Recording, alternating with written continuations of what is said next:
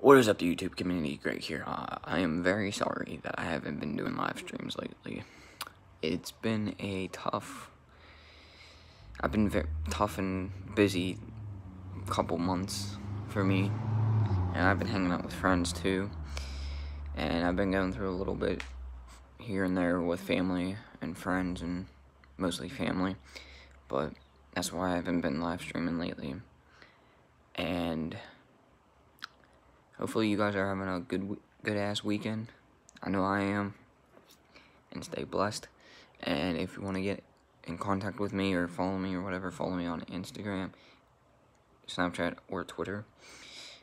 Uh, I will leave them in the description down below if you guys would like to follow me on those three.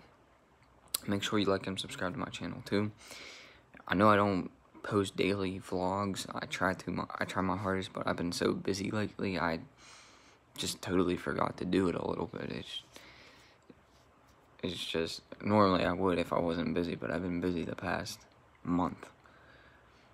But anywho, hopefully you guys are staying safe out there and staying kind to one another too.